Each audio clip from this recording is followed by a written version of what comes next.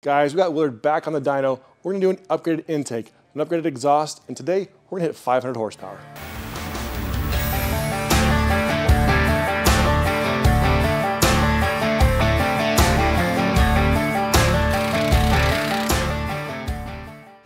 We will hit 500 horsepower today. One way or another, Willard is going 500. All right, guys, Willard has been amazing, but we've been accused of doing our mods backwards. Yeah. Like we're stupid, don't know what we're doing. We should start with what? I mean, the basics intake and exhaust. Those are like, and maybe An air horn. we're not gonna do that today. No. But we're testing an intake and an exhaust. We've got injectors on this thing, we've got a tune on this thing, and we got a turbo on this thing. We're making 451. What? 451? Our 76, 76 horsepower injectors. And we'll see if that intake and exhaust can get us to 500 horse. Yes, so just so what's going on, we did upgrade the injector since last time we've seen this vehicle. Last Yep. time we had our 75 horsepower, you know, eco-friendly, super awesome injectors. These are our next size larger power jets, our power jet stage two. And uh, yes, they should pick up some power there. So we got to figure out the testing regimen. We're going to test it, just injectors, get a baseline, see what kind of power we're making. Then we're going to put an air intake on it, stock exhaust. Then airbox comes back off, put in aftermarket exhaust. Yep. Then final airbox back on. So we're gonna do each one individually so we can see how much power each one makes on its own and As a what they make together. And we will we will put to rest the question: Is it smarter to start with an air, take, air intake and exhaust, or smarter to start with a turbo and tuning? So let's get started.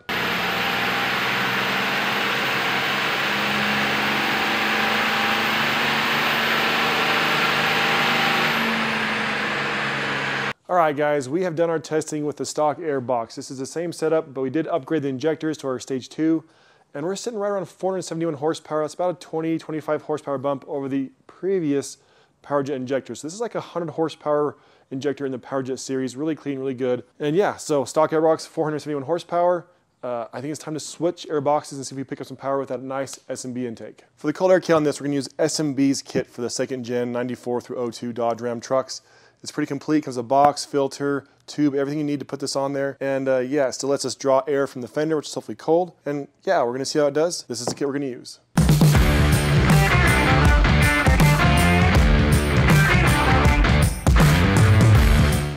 All right, so the S&B airbox is installed. I wanted an ultra high flow filter, so I put one of our Power Flow Power Trim Diesel filters in the box. It fits great, looks amazing. So thanks to the box, S&B. Uh, their filter is fine. You don't have to change it. You could, but you know, it's a good filter. Anyway, uh, this stock box did have a K&N air filter in it, so that was an upgrade. I didn't realize it had that in there. So I'll be curious to see if we actually have a gain with this airbox. Uh, it fits good. Took about 30 minutes to install, and uh, yeah, let's see if it made any more power.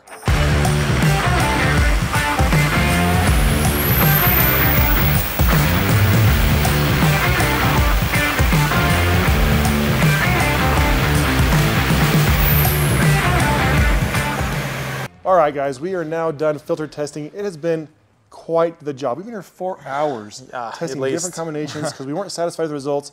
What the heck It's- happened? Air filters didn't make as much difference as I was hoping, and so we're really operating inside that margin of error. So I actually put the stock box on and off a couple times, going back and forth, trying to figure it out. So we start with the stock box. With that, we played without. Uh, we had some inconsistencies. We pulled that plastic duct off the side. That's in the fender where like guides Yep. the cold air to your box. we could have good a one good run, and then the it would I don't know if suction or whatever it would move the it would suck that plastic guide in, and then we'd have some bad runs. We'd have to realign it. So we ended up pulling it out. That actually made the best number. That is that 471 number we Mm-hmm. kind of settled on, and then the we put the S&B box in as as it came S&B filter Mm-hmm. all assembled, and we made like. Maybe I think it was like two more horsepower. Yeah, and like, so what? that's when we started going back and forth trying to figure it out. We played with a lot of things. We played with first we put a power driven filter in there. That's a known filter. We know it flows good. Yeah. We picked up a couple horsepower with that, so that was good. And then, then once you did that, we played with that. So we noticed that that under during the pull it was sucking in a little bit, and it one was time actually it was actually got sucked into the box. it starts laying into the filter itself. Um, and so then that like kind of seals off half the filter, so it's only just- able to utilize half the so we just remove this. That so that is actually the best combo so far. Yeah. Force averaging around 479 horsepower. PDD box, no S&B box. sorry power PVD filter. power driven box. Yeah, S&B box. power driven filter. no panel. Thanks, Todd. Anyway, um, the next best was the again no panel S&B filter. Yes. And then we tried all sorts of other combos without the lid. That was worse. No box at all. That was worse. But the very worst combo that we tried, no filter, no tube, no nothing. Just open turbo. So that made the least amount of power, which is actually really cool because if you go on the flow bench and you try that type testing, You can see you can see it. It doesn't flow very good. Yeah, the way- Using a filter to like duct the air. almost like a velocity stack, like guiding it. If you have just an open pipe, it flows worse than a pipe with a filter on it. Yeah. Very crazy, but it's true. We've proven it time and time again. And so the, the truck actually backs it up. So now it's time to go put that MBRP four inch exhaust system on this thing, see if we, and put the stock box back on because I want to test that alone. So put the stock box back on, exhaust, then put back on the S&B power I'm gonna combo really good at this. and see, can we hit that 500 horsepower? Let's do it. Let's go.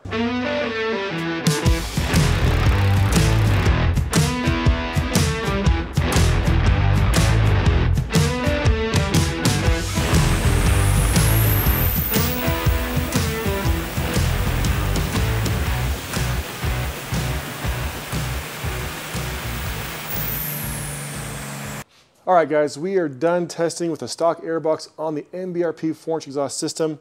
We made 480 horsepower. That's like one horsepower more than we did with the air intake alone. But it's actually a bigger story, a bigger difference than that. I want to show you some stuff on the screen here because it really, the exhaust, in my opinion, was a better uh, power adder, and this is why. Oh yeah, pulled up, for yeah. sure. And even just driving on the dyno, I could tell. First of all, before I click away, 1171 torque. I think it was like a 1020, 1040 before. So a good. Big bump torque, there, yeah. and you'll see it. Um, the brighter line is the um, four-inch exhaust. The duller line is stock airbox factory exhaust. So this yellow is a torque curve. So you can see the torque is way higher, but notice here, they start, in the, like mine did a good job starting. This is a very accurate dyno. We didn't like, I actually started at a lower boost and lower power yeah, you did because you're with get lower. that new, like the new exhaust had a disadvantage and it immediately overcame it. And so the bright yellow line, you can see the exhaust just destroys what the intake did as far as spool up is concerned. So the turbine wheel is the thing that generates power to the compressor wheel. The way the turbine works is pressure in versus pressure out. The bigger delta, the bigger change you have from pressure in to pressure out, the more efficient, the faster, the quicker that spool up will be. So when we put this big 4-inch exhaust behind this turbo, we are decreasing the pressure behind it. We're not changing the pressure in front of it. We have a bigger drop across that turbine, meaning it's going to spool up quicker and faster. And, and we see that, and you felt that. Like you, Oh, you can feel a dyno. It. Yeah. Yeah, because I've been trying to hit the same, like start at the same boost level, and I so I just did my routine, and boost is way higher. I'm like, whoa, back it off, and I didn't realize like it was just making that much more um, boost for the same power level, which is is great. That's what cools down EGTs, and you can see it. We made more power here, and EGTs were a little bit lower. They started basically the same. They went down, and then obviously once we started making power, they kind of leveled And down off. here's your boost. You can see Boost. the boost just came up way quicker.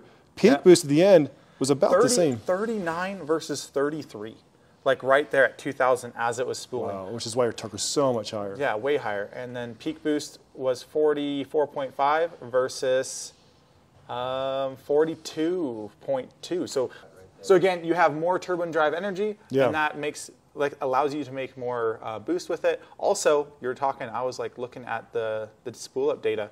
So this thing hit about 1,000 foot-pounds of torque at 1,900 RPM versus before it was um, 1960, so 60 RPM sooner. If you go by time, it's even better. 1,000 foot-pounds right there at 3.4 seconds versus 4.3 seconds. So 0.9 seconds faster to get into power. So this is stuff is- you will feel as you're driving. You can say on a dyno sheet, you only picked up 8 horsepower. This truck will feel like you picked up way more than 8 horsepower because it's going to be responsive. The turbo's going to spool quicker. So uh, a big fan of the, of the 4-inch exhaust. Even though the peak number didn't really change all that much, it sure made it drive quicker and faster and easier. So, so yeah, same here. You can see horsepower takes off, climbs faster, and just stays higher the whole way through. I mean, the, the difference in peak power is not huge. It's not. But this feels faster. This feels like more than an 8 horsepower bump because right here, it's probably a 20 horsepower bump or a 30 horsepower bump. Oh yeah, so Like let's just say right here, 2200 RPM, 464 versus 445. That's 20 horsepower. 19 horsepower. So you think, man, 20 horsepower is a big deal. And that's just because of how fast that turbo can get moving. So anyway, we are not to 500 yet. We are not. We're hoping i- individually they're not going to make it. So is is the combination going to make us there? I, I'm curious. I So don't know. honestly, I I'm- really wanted it to happen. I know I, did too. I don't did. know that it's going to. I, I thought, man, we got to be able to get 20 horsepower out of the, or I guess it'd be 21 horsepower with that. So I guess that's a pretty decent gain if you got 21 at just of in and, in and out. But anyway, let's put that uh, S&B on. We're going to use that same setup that was most powerful with the open side, the PD filter, and uh, we're going to cross our fingers and see if we crack 500. Let's do it. Let's go.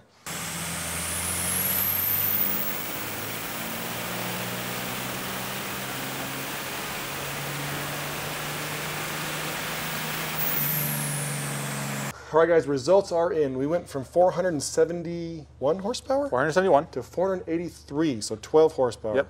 12 horsepower. 12 horsepower. That's going from a stock exhaust, stock box, to a S&B intake with our filter and an MBRP 4-inch exhaust. That was the best combination we had the whole day, 483 horsepower. Yep. So people that'll tell you that intake exhaust don't do anything, they lied to you. 12 horsepower. it's it is a little a little disheartening. Well, I will say the exhaust I think was really good. I mean, we, the spool up difference, you got out of the truck right away. It's like, dude, I could tell a difference. So you would feel that with that exhaust, Yeah. that spool up. It is a worthy mod. Airflow is good. It's all good. But very typical people say the first thing you do to the truck, oh, get an air intake and exhaust. That's some of the worst bang for your buck stuff you can do. I would I mean that right there is about the same cost as a turbo, and we just show that turbo is worth hundreds of horsepower over the, over the stock one, where this one is not worth hundreds of horsepower. So the tuning, uh, injectors, and turbo, all the stock components can support those reasonably well. This just complements those modifications. But here's the dyno graph. It is better together. We made the most power with them together than we did apart. Like individually, they were better Yep. together. And so this, I mean, we, we compared before the um, factory intake stock exhaust to factory intake uh, four-inch exhaust. This is the um, both SM both sorry both four-inch exhausts, but one actually has a uh, S&B intake, and you can Yes. see the S&B intake also helped a little bit. Boost was marginally up the whole way. It is flowing more air. It's just EGT is a little better. EGT is a little better. Spool's a little quicker. Makes a touch more. Peak power, very minimal. The spool up was better. yep. It has better manners. The power difference isn't a lot, Yeah. but So, yeah, I yeah. Overall, good mods, um, but we need to hit 500. So we promised 500 horsepower. We started off at 471 with those injectors. Yep. We did an intake and made 479. Not 500. We made we did an exhaust and made 480. Still not 500. Thank you. Um, then we finished at 483 with Which both. is not 500. Okay, God, we got it. We got So, 500. Now there's a little bit of something. We got something that we can do. So a YouTube commenter mentioned a couple videos ago. Back with the AirDog install. AirDog install that because we disconnected the battery, we actually reset the tuning in the Quadzilla to the factory Quadzilla tune. So our hmm. custom tuning got removed. And we realized that and we didn't want to change it because we had all that data. We wanted to keep the same tune and keep like being able to progress with our data and be able to relate it back. So we've just kept the same Quadzilla tuning up until now. We're going to throw our custom tunes back into it, the custom tunes that were written for stock injectors and stock turbo. Yeah. And we're going to see if that makes 500 horsepower. And if it doesn't, Oh, it's we gonna can make, then make. It's gonna make 500. Meyer, Give me at least okay. Give me at least one more tune. Let me throw it in. one tune and one revision if you need it. one need. revision if I need it. If you need it. Otherwise, I don't want to blow it up, but I will. We're, I mean, I'm done don't. being, south It- of 500. I, I, still, I haven't finished the carpet in my basement, and it works really good for transporting carpet. I need it. This is a pretty sweet truck, but I will blow. You better get there. We better get there. Let's go.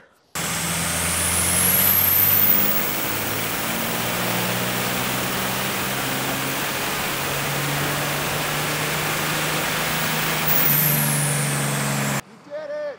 You did it! I've done it. It stays alive. 508. 508.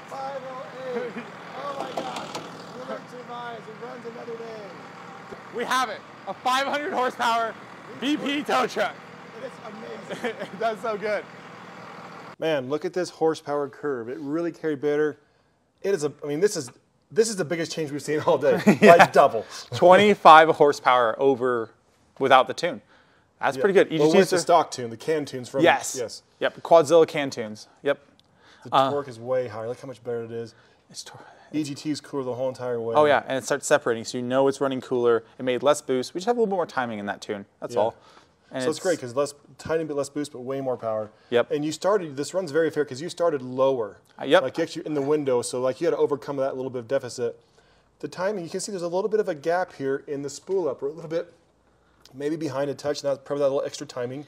Or it could be because you started to slow. Mm-hmm. Yeah, and we, we did Very this. close. This custom tuning is for stock injector, stock turbo. True, like if we it. if we actually went in, re-optimized it, like wr- wrote a new tune for the big injectors, the turbo, just the things we've done to it, we'd probably get rid of a lot of that. But yeah, freaking, it does talking- good. Yeah, we'll get a little bit better. This is very, very good. So, 508 horsepower, 6064, towing beast, still alive, didn't have to ghetto fog it. What a great day. this is an amazing day, and I still have something to go get my carpet wet. Uh, it's a win. All right, Willard never disappoints. It came through in the end, and I still freaking love this truck. it drives.